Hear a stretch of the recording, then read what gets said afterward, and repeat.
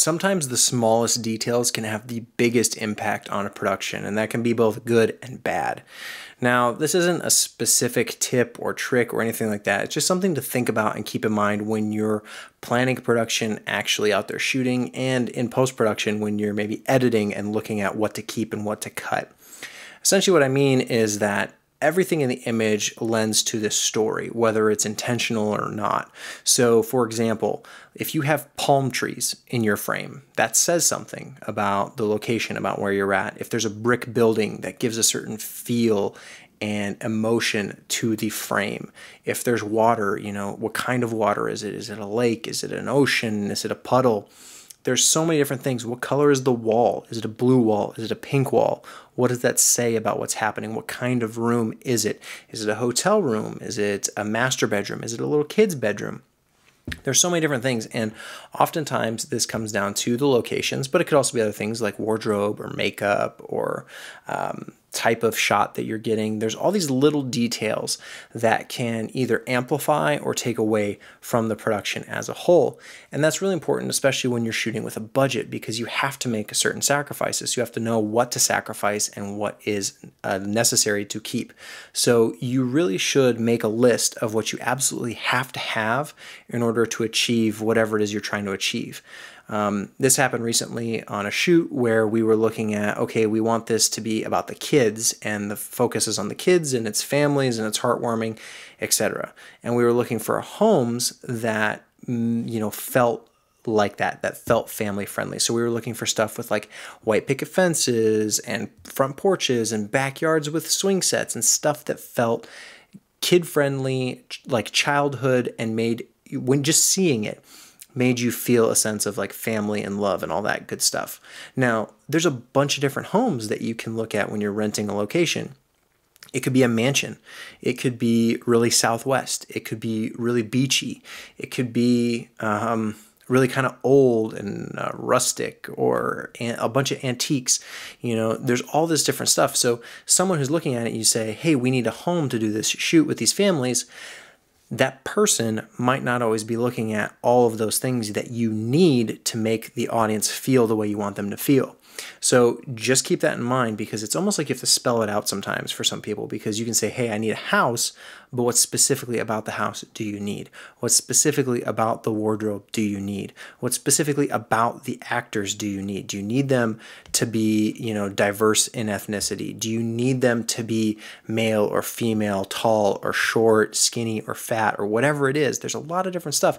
And with actors, it's really obvious, but also with like camera movement. What kind of camera movement do you need? Do you need a slider? Do you need a gimbal? Do you need a jib? Do you need a drone? Do you need it to be locked down? Do you need it to be handheld? How do you want someone to feel when they're watching it? Because something that's locked down has a very different feel than something that's handheld or something that's on a slider or something that's on a gimbal or jib or drone, etc., etc., etc. So really keep that in mind because the moment you start making sacrifices and saying, okay, well, we don't have budget for that house um, because I, I, need this specific gear. So we need to get that house. And maybe it doesn't have all the things on your checklist. Maybe it has enough, but maybe it doesn't. You could have the best gear in the world. And if that house doesn't meet those requirements, the whole production could fall apart. And so it's constantly this balancing act of figuring out what of those small details do you absolutely need to have and what ones can you let go. Because nine times out of 10, it's not going to be ideal, but you have to be smart enough to decide what's important and what's not. Oftentimes, the gear is what's not important. As much as I hate to say it because I love the gear and I love, you know, really expensive, great cameras that shoot all the dynamic range, that's not always possible when you're trying to factor in all these other things like talent, like wardrobe, like craft services, like locations, like days of filming, right? There's all that stuff that goes into it and the gear is just one component. What size crew do you need? You know what types of crew people do you need? Um, even even within that you know those kinds of people okay what specific personality traits do we need to have? Are there going to be kids on set? Do we need someone who's really good with kids? Do we need us uh, like a nanny who's going to be there to watch them? Do we need it could be anything. Again i'm just trying to like think up all the crazy different scenarios and every shoot is going to be different. Every project is different. So there's no way I could tell you, oh, if you just do this, then it'll be perfect because I don't know your project and you're not going to know all mine. And that's okay because everyone is unique and it's up to us to make it the best it can possibly be. So track all those little details, write them down if you have to. And oftentimes it's hard to verbalize sometimes. You have to like, because you see it in your head, right? Hopefully, if you're doing this kind of work, you're a visual person. But other times people can't always see it in their head. So maybe it's something you need to sketch or look up reference images and say, look, okay, see this because there's that swing set there that makes you feel a certain way, right? You understand that it's about uh, childhood. And so we need something like that. Or maybe it's, oh, we, we want it to feel uh, really clinical and dry. So we need something that's just like stark and white and gray and there's not very much color.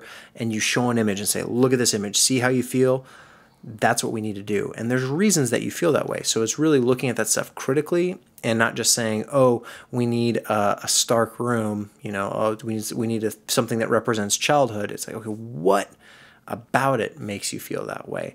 And then storyboarding it out, finding those inspirational images, writing it down, and then making sure that every step along the way you're constantly reinforcing those things and pushing towards that because that's going to make the best product in the end and yes you're going to have to make sacrifices things are going to happen but if you can keep fighting for those things and you know know which battles to fight and which ones just to give up because sometimes you're going to win sometimes you're going to lose. But if you know what those things are and you can you can hold yourself accountable and hold other people accountable to those things going with a plan going with an agenda then you can actually make the thing that you're trying to make. And it doesn't become one of those projects where by the end of it you're just like yeah this is a good idea but it just it, it all went uh, wrong along the way i mean you how many horror stories do you hear about that where there's some specific vision that someone has for something but then because of budget because of time because of whatever all those things get cut along the way and then the end product is garbage even though it was a good idea to begin with so just keep that in mind. It's all those little things, the small things that can make the greatest impact for good or for bad.